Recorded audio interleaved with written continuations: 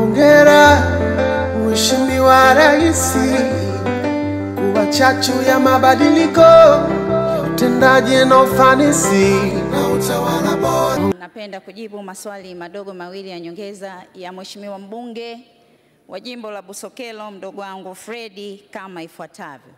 Kwanza naomba kipekee nimpongeze sana kama mwana ICT kuhakikisha kwamba anaelewa umuhimu wa kwamba sasa hivi nchi inabadilika, uchumi unabadilika na watu wote tunatumia ICT. Ni kweli kabisa kwamba Watanzania zaidi ya asilimia 65 wapo vijijini na Watanzania hawa, Mheshimiwa Naibu Spika, tunategemea kabisa kwamba watakuwa wanatumia teknolojia ya ICT kwa maana ya TEHAMA. Lakini hii yote amezungumzia masuala ya mazao ya kilimo, ni sehemu ya biashara mtandao, na kupitia wizara yetu ya kilimo, Mheshimiwa Naibu Spika, naomba niseme wao wana tovuti ambayo ni sehemu ya maeneo ya TEHAMA katika kuhakikisha kwamba Watanzania hawa na wenyewe wanapitia biashara ya mtandao, lakini vile vile kupitia njia za simu. Na ndio maana nimetoa rai kwa taasisi zote za umma nchini zikiwemo na wizara kuhakikisha kwamba sasa hivi wanaanza kutumia mfumo wa open source software ili Watanzania waweze kunufaika. Lakini swali lake la B, Mheshimiwa Naibu Spika, ICT ni kitu dynamic, sio static.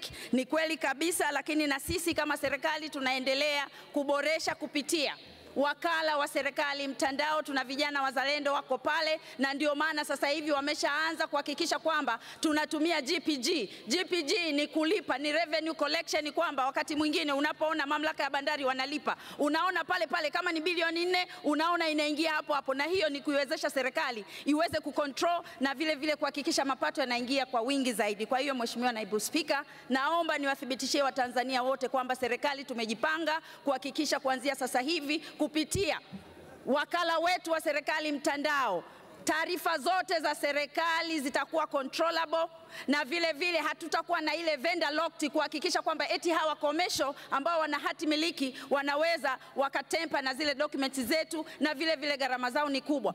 Mheshimiwa Naibu Spika, kwa niaba ya Waziri wa Nchi, Ofisi ya Rais, Utumishi na Utawala Bora, naomba kujibu swali la Mheshimiwa Faharia Shomari Hamis, mbunge wa viti maalum lenye sehemu A na B kama ifuatavyo. Mheshimiwa Naibu Spika, katika kusaidia jamii kuboresha hali ya maisha na kupambana na umaskini, TASAF katika awamu ya tatu imechangia kutekeleza miradi ya aina mbalimbali ikiwemo miradi ya miundombinu, kuweka akiba na kuinua uchumi wa kaya na miradi ya kutoa ajira za muda kwa walengwa kwa maeneo yote ya Zanzibar kama ifuatavyo. Mheshimiwa Naibu Spika, katika miradi ya miundombinu, ujenzi wa zahanati mbili umefanyika Unguja na ujenzi wa madarasa matatu umefanyika Pemba. Miradi hii yote imekamilika na inatoa huduma. Mheshimiwa Naibu Spika, katika kutoa akiba na kuinua uchumi wa kaya, vikundi 1151 vya kuweka akiba vyenye wana vikundi 1016 na 86 vimeundwa na vinaendelea na utekelezaji wa shughuli zao mbalimbali huko Unguja. Kati ya wanavikundi hawa 649 ni wanaume na wanawake ni 15437. Vikundi hivi vina akiba ya shilingi milioni 644 laki tano ishirini na tisa mia tano ambazo wanavikundi wanakopeshana na kutekeleza shughuli mbalimbali za kujiinua kiuchumi. Mheshimiwa Naibu Spika, jumla ya vikundi 980 vyenye wanakikundi 12,087 vimeundwa huko Pemba. Kati ya wanavikundi hawa wanaume ni 283 na wanawake ni 11,804. Vikundi hivi vina akiba ya shilingi milioni 420 ambazo zinatumika kukopeshana na kuanzisha shughuli za uzalishaji. Mheshimiwa Naibu Spika, katika miradi ya kutoa ajira za muda kwa walengwa iliyotekelezwa Unguja tangu mwaka 2016 hadi 2019 ni 325 na fedha zilizolipwa kwa walengwa kama ujira ni shilingi bilioni 4 milioni 279 laki tano sitini na tisa. Kwa upande wa Pemba, jumla ya miradi ya ajira za muda iliyotekelezwa toka mwaka 2015 hadi 2019 ni 216 na fedha iliyolipwa kwa walengwa kama ujira ni shilingi bilioni 3 milioni 857 laki tano sabini na tisa mia mbili. Mheshimiwa Naibu Spika, katika kuwapunguzia umaskini wananchi kiasi cha shilingi bilioni 28 milioni 571 123 zilitumika kwa kaya 32154 zenye watu laki moja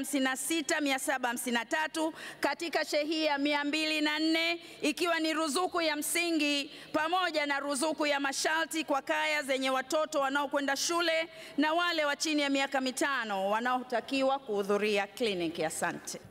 Naomba kujibu maswali madogo mawili ya Mheshimiwa mbunge Faria Shomari, mama yangu kamishna wa bunge kama ifuatavyo. Kwanza na mimi naomba nimshukuru sana kwa pongezi, lakini vile vile na yeye mwenyewe naomba nimpongeze kwa kuhakikisha kwamba ni mmojawapo wa machampion ambao wanafuatilia kwa ukaribu sana kaya maskini hususan katika upande wa kule Unguja na Pemba Zanzibar. Lakini Mheshimiwa Naibu Spika, nikianza na TASAF 1 na TASAF 2.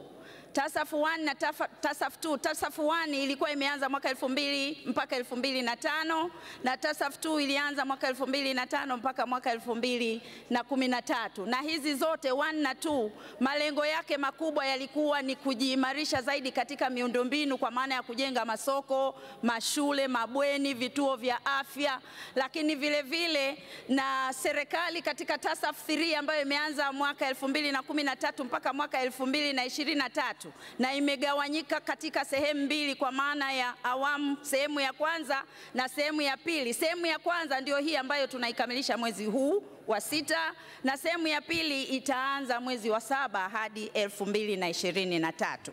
Lakini naomba niseme kabisa kabisa kwamba Mheshimiwa Naibu Spika, awamu ya tatu katika swali lake hilo la kwanza ndiyo ambayo inaonekana imefanikiwa vizuri zaidi, kwa sababu awamu ya tatu kama nilivyosema, ile ya kwanza na ya pili ilikuwa kwenye miundombinu. Awamu ya tatu imejikita zaidi katika kaya maskini, na wote tunaelewa sasa hivi hata humu ndani, waheshimiwa wabunge, kwamba kaya maskini zimekuwa sasa hivi zikijiboresha zaidi. Kumekuwa na wale walengwa wana vikoba, wameweza watoto wao kwenda shule, wameweza kuwa na biashara mtandao ya kilimo kama tunavyoelewa. Wakati fulani nilipitia katika kile kijiji cha Kofi Chanika kule Handeni, wale walengwa wameweza kuwa na ekari kumi na tano shamba la mihogo, na hawa ni walengwa waliotokana na zile kaya maskini kabisa. Hii ni kuonyesha kabisa wanaweza wakasimama kwa miguu yao.